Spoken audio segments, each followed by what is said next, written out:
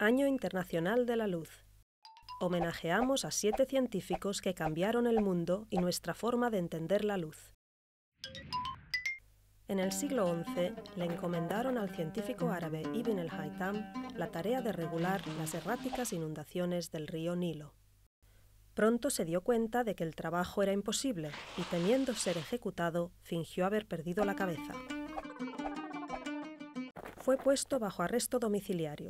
Malas noticias para al-Haytham, buenas noticias para la civilización. De repente tenía mucho tiempo libre para continuar sus estudios. Durante este periodo escribió el libro de la óptica, que explicaba cómo se forma la visión cuando la luz entra en el ojo.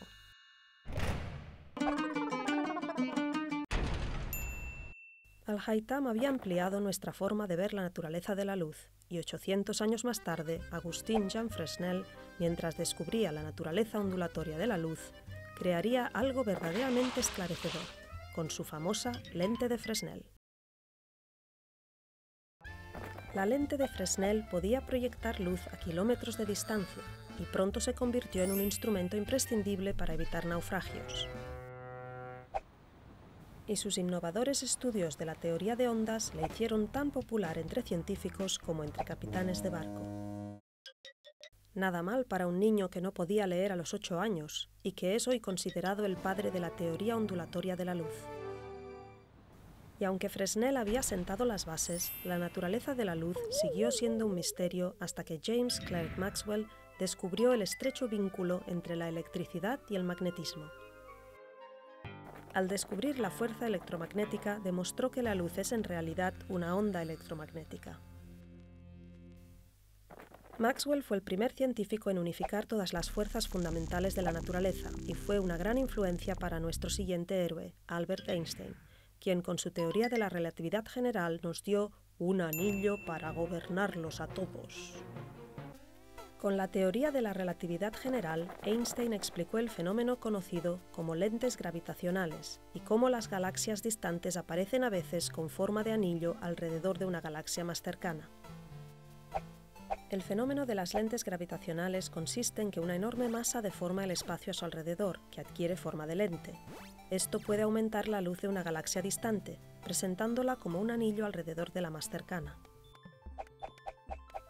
Einstein llevó nuestro conocimiento de la luz hacia el espacio exterior, y pronto Arno Penzias y Robert Wilson detectarían el primer murmullo del cosmos usando un microondas.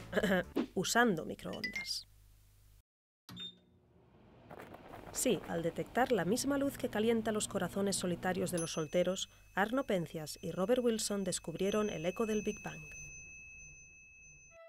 Al principio pensaron que la causa de la extraña señal de radio eran los excrementos de paloma que había en la antena, pero los quitaron y la señal se mantuvo. Obtuvieron el Premio Nobel por su trabajo, un galardón que comparten con nuestro último héroe de la luz, Charles Kao. En los años 60, la mayoría de los ingenieros pensaba que el vidrio era un medio ineficiente para transmitir telecomunicaciones. Pero Charles Kao y George Alfred Hockham creían que podría ser mejor que el cobre. Kao descubrió que purificando el vidrio y atándolo en puñados de fibras, se podían transportar grandes cantidades de información a mayores distancias usando la luz. Y gracias a Kao, ahora nos podemos comunicar desde un lugar del mundo a otro en un instante. Todos estos científicos han hecho historia en el campo de la luz y este 2015 celebramos sus descubrimientos como parte del Año Internacional de la Luz.